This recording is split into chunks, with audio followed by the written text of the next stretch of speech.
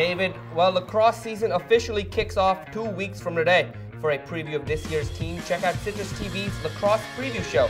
It includes interviews with junior captain Joel White and the man leading the 'Cuse, head coach John Desko. The Lacrosse Preview Show is so good that we'll give you three different days to tune in. February 17th, 18th, and 19th, all on Time Warner Cable. Check your local listings for showtimes. Well, coming off, uh, well, actually, we're going to go to the preseason rankings. Syracuse just tabbed number one in the nation, right in front of Duke. A close race for number one. Third was UVA. Fourth, UNC. And fifth, Johns Hopkins. The next closest Big East team was Notre Dame at number nine. And coming off back-to-back championships in 1990, the men's lacrosse team, all but albeit controversially, marched on to a third straight NCAA title.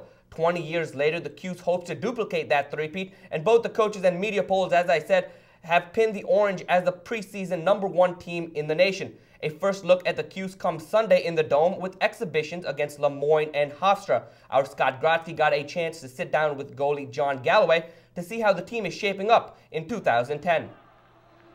You talked about your role. One role that I keep hearing other players saying about you is leadership. Now that Sid Smith is gone, how do you go about replacing a, a great defender like Sid Smith? Uh, you know, there's no replacing a player like Sid. I think he's one of the best players I've ever had the chance to play with. Uh, he was a he was a born winner, and he understood the game. And uh, you know, you really respect playing with a guy like that. I learned a lot from him, and I, I hope I, I can take the things that I learned from him and implement them this season as a leader myself. And you know, like I said before, we've had uh, you know two veteran defenders on that side of the ball now that you know have seen seen some serious games, seen some competitive games, and John Lade and Matt Tierney. Then we're really going to rely on them to be leaders too this season.